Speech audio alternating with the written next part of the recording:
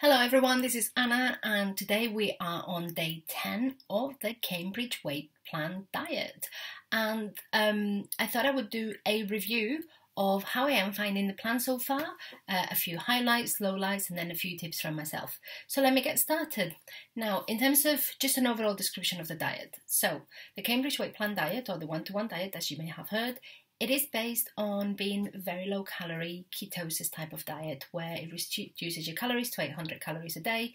It puts you in ketosis, which means that your body, um, instead of using carbs and sugar to fuel itself, it uses its fat stores and therefore you're burning all the fat and it helps you to fast track your weight loss. But what it also does, it reduces your calorie, um, not just your calorie input, but also your portion sizes. So you retrains your brain and your mouth and your stomach to eat smaller portions and gradually reintroduces them through. Um, uh, it reintroduces food and it helps you to learn how to eat again um, through six different steps. Um, the steps and where you start depends on your personal circumstances. It is based on the fact that you go to see a consultant on a one to one basis. You choose their consultant, so that is very important. And they will talk through you, uh, they'll measure you, they'll weigh you, they'll recommend what they think is best for you, and it is based on your personal circumstances. And then, based around that, they'll decide the best plan.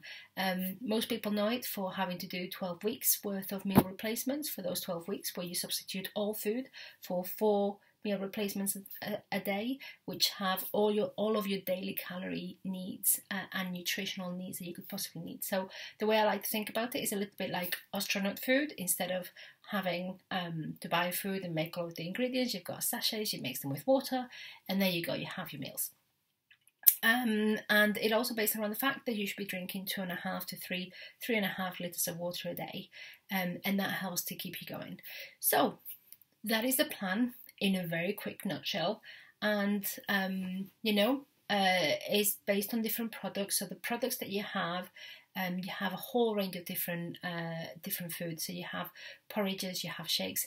Most people know the shakes and the bars, uh, and they could be ready made, the shakes, or ready to drink in little bricks that you can just um, have.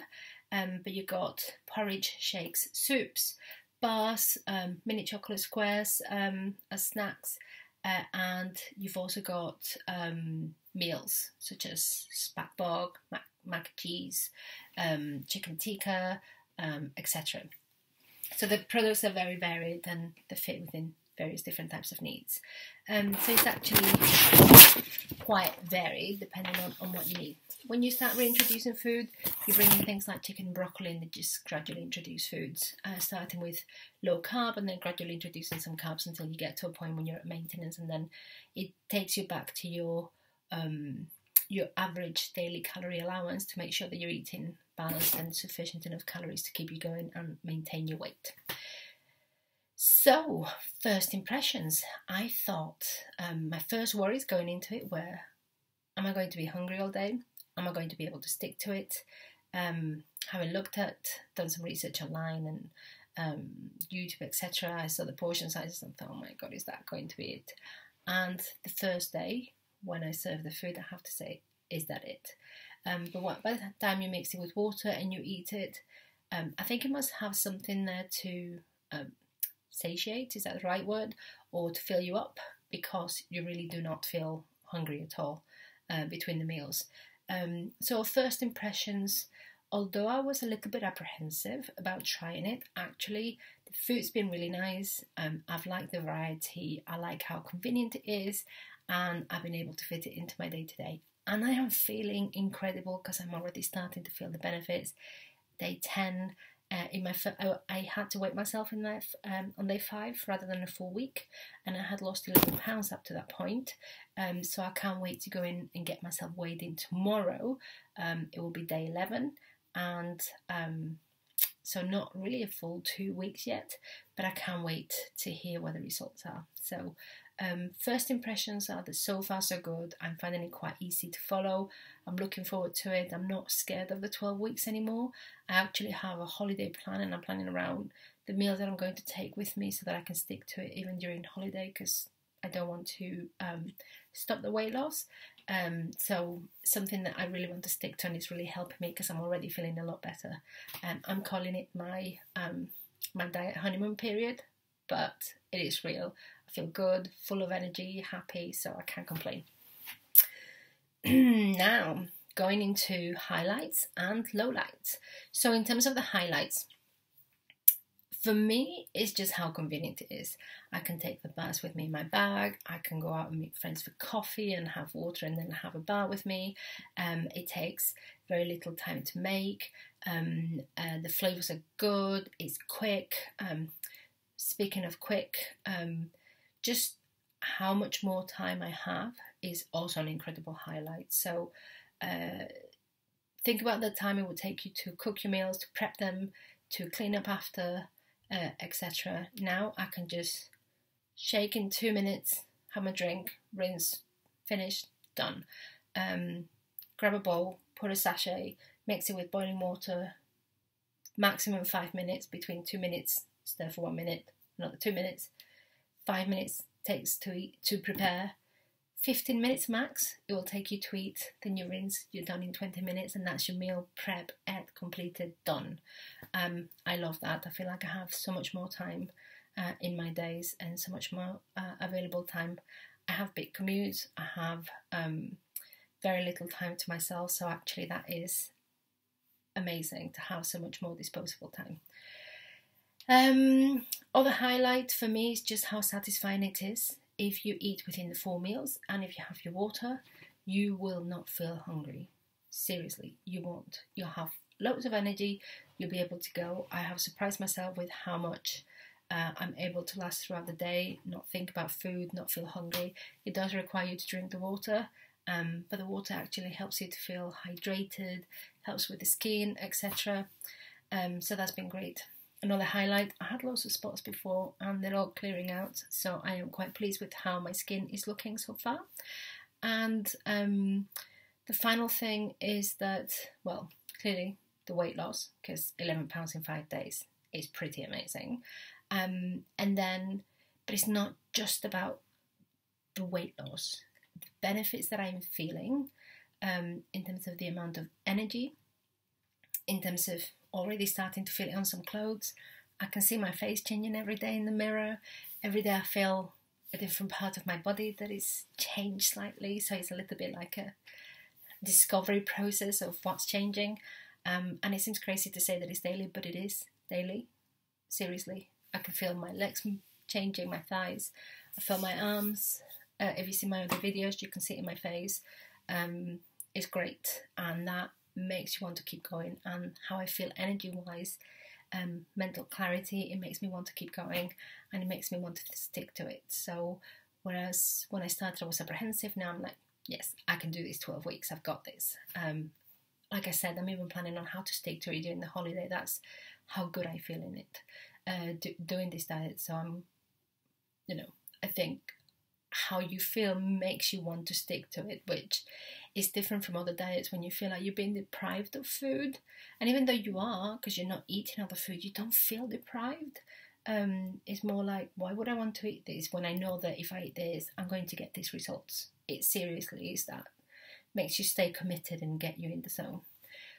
So, those are great benefits for me. In terms of low lights, um, it will require long term commitment from you, so it, it does require you to commit to it. So, like me for my holidays, if you don't want to stick to it, if you're not in the right headspace, you will be looking for excuses to get out of it. If you're already in that space, you're not you're not there, um, because it requires a commitment from you, from your time, from your dedication to what you're going to do. Um, it does require you to plan ahead, so you can't just leave your house and think, I'll just grab something. No, you need to take your meals, and your consultant gives you the exact number of meals for the week. So if you've got, um, you know, like my first week, I had five days, and it's four meals a day. I got 20 meals, and that's everything. So you cannot miss out on that. Um, so you need to plan ahead. You need to think about your meals, what you may fancy, what you want. If you're going to leave the house, you need to do that. Um, so it does require a little bit of time commitment, but I think it's just more readjusting your brain to how you you think and how you operate and how you plan your days. Um, it will also change. Uh, well, actually, before I even go into that, you will because you're drinking all that water. You will go to the toilet and a lot.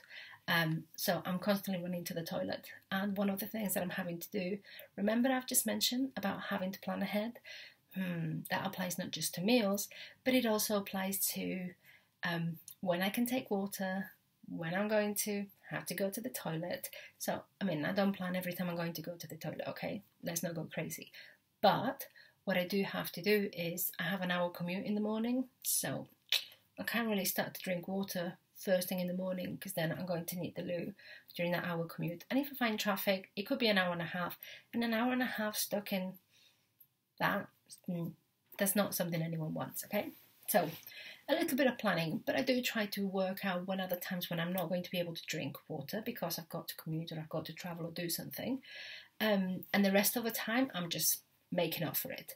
And definitely in the evenings, I make up for it. So uh, I'm able to stick to it, but it does mean that you go to the toilet a lot. Um, but that's for number one, because, and allow me for a bit of TMI, number two is a different story. If you are somebody that struggles with your digestion in the first place, then you may to, need to think about having a little bit of fiber. Um, you know, your body will not have a huge amount of food to eat, uh, and whatever you're putting into it is going to absorb everything it can. So things are going to slow down. So a bit of fiber keeps things regular, whatever helps you can. It makes your life a lot easier. Enough said. Now, so having got all of that ahead and um, the planning ahead, the other thing that I will say is the socializing is an important side. So if you use, like I was, um, to do most of your socializing around food, then this could become a little bit of a problem because you're not going to be wanting to sit in a restaurant surrounded by people eating whatever is your favorite meals or whatever you want to go, and then you're having to just eat a chocolate bar. Okay, you're not going to want to do that. You don't want to put yourself also exposed to those temptations when you're still getting into the groove of things. Okay, so you'll have to avoid that. But find other means. I mean, I've gone to the cinema. Okay, I would have before I would have been stuffing my face with popcorn or with ice cream, but now I'm not. I get my bottle of water and I take my stack with me. And I can do that, but I can still go to the cinema. I can go for a walk in the park. I can meet somebody, go to a museum. I mean, that rocks my boat. If you do whatever it is that you enjoy, okay? Um, but you can do things. But it just means that you really need to think about how you are socializing and just because you're changing doesn't mean that your friends and other people want to change too. So you may get different reactions. Is a choice. You do whatever is right for you. Don't be conditioned by others, but know that that is something that will may ruffle a few feathers because it will be a change of dynamics. And then the final piece that I will say is that in the low lights is that if you talk to people that are not supportive of you or that don't really understand what this means to you, everybody will have an opinion and they will all tell you what works and what doesn't, or oh, I'm not sure, I don't think I could do that, or I just don't know how you can do it, and um, oh no, not eating anything, uh, or they start telling you about all the other plans that they have done themselves. I mean, what I always say is, you do you, I'll do me, this is good for me, this is what I've chosen to do, please support me, and if not, end of conversation, move on but it does require a little bit of get, getting used to that. Um, so something to keep in mind. So those are my lowlights. Um, top tips. So in terms of how to stick to it, I will say, well, first of all, if you're not sure what to do or how to do it, the first, the best thing to do is just get started. Don't think about it.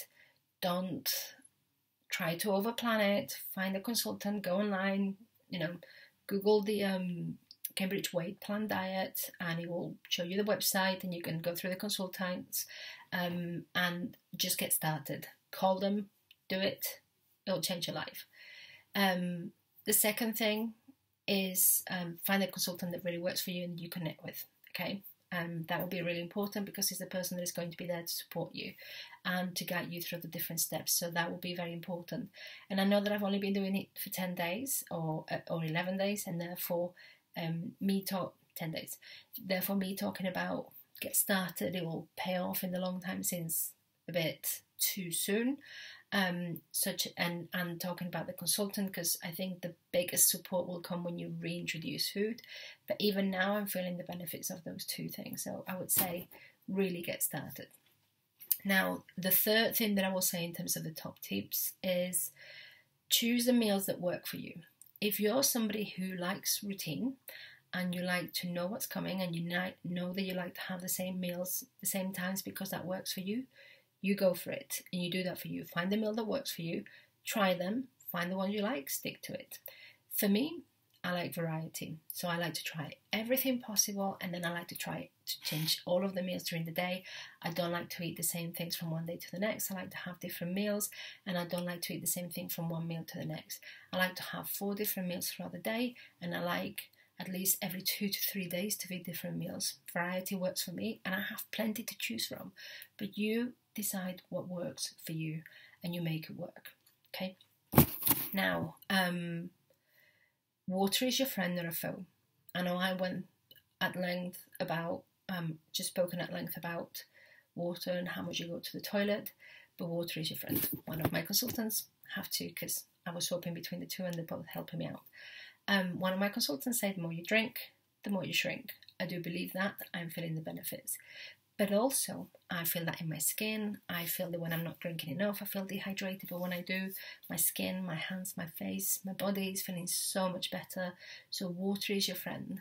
Make it work for you. Choose a nice glass, choose a nice bottle. Um, same applies for the meals actually. Something nice you like to drink out, eat and drink out of, and make it that little bit special so you're not just drinking out of plastic. Um, that can be my next tip. Uh, so, water is your friend choose plates that uh, and glasses that make it feel a little bit special just because you're dieting and you're replacing meals doesn't mean that you know you should make an effort for yourself because at the end it, it all makes a difference to you. Um, plan ahead. I have mentioned that a few times but try to think about what's coming out throughout the day. I may be over planning about my drinking but it works for me. But plan about your meals plan your week think about your weekends um, so, interesting note is I started thinking that the weekends I would need more hot meals because I used to spend more time at home, but I feel so good and so active that I want to be doing things. And I'm thinking actually, I need to shift things. I need to start getting more bars for weekend meals because I can eat them when I'm on the go easier than a meal that I need to microwave. So actually, I'm starting to think about even how my dynamics are changing and how I'll make it work for me. Um, but do plan ahead; it makes a difference because um, when you choose your meals, that's what supports you through the week. Um, so that will be um, that will be important. And then the final piece I mentioned about everybody will have an opinion. Do it for you. Commit to yourself. Um, whatever people say, it doesn't matter. You do these for yourself. It may be that um, you know you have that holiday that is coming up, or you've got somebody's birthday or some party or whatever. But at the end of the day, you need to decide what is more important to you: your health and your weight loss, or that one party. And in a year's time, what will have mattered the most? That you went to that party, or that you lost the weight that you want to lose? and what's going to throw you off balance going to that party or sticking to your meal maybe missing that out or maybe eating that meal instead of having that bite to eat. So think about what are the things that are going to help you what helps you to stay motivated and focus on that. Um, i have a journal where i keep and i track everything. I track my meals but also i track how i'm feeling every day. Um, and i keep a log of how every day is evolving uh, and the changes that I'm noticing. And that helps me to stay focused because it helps me stay, um, you know, have to think about my diet every day. What am I eating? Take stock of what I have just consume, but also think ahead. Um, and it also helps me reflect. So, how I had a stressful day. Um, did I feel more hungry? Uh, was I able to drink more water, less water? How tired did I feel or not? And that really helps me to think what will help me and what doesn't. And that's actually helping me to adjust my behaviors because I know that um, I really feel it when I don't drink enough water throughout the day. So I make the time and I look for time to make up for um, times when I haven't been able to drink as much water so I can get as much water as I need in. Uh, it helps me to think about the meals that I'm going to need. It also helps me to stay prepared for what are things that could derail me. So, for example, going to the cinema, like I said, um, I still want to go to the cinema, but I don't need to eat the bucket of popcorn. I can just take a bar with me. But if I know I'm prepared for what I'm going to need, then when it comes to doing it, I don't have to think about it. Already I have my strategy, so I'm I'm ready to go. So think about what you might need and what will be supportive of you. Ta-da! That's the end of it. So um, I've shared with you a little bit of an overview about the diet, uh, my highlights, my lowlights, and my top tips. I hope you enjoyed this. Leave your comments if you have any questions, please leave them. And I look forward to giving you an update of how I get on tomorrow for my weigh in. All the best and talk soon. Bye.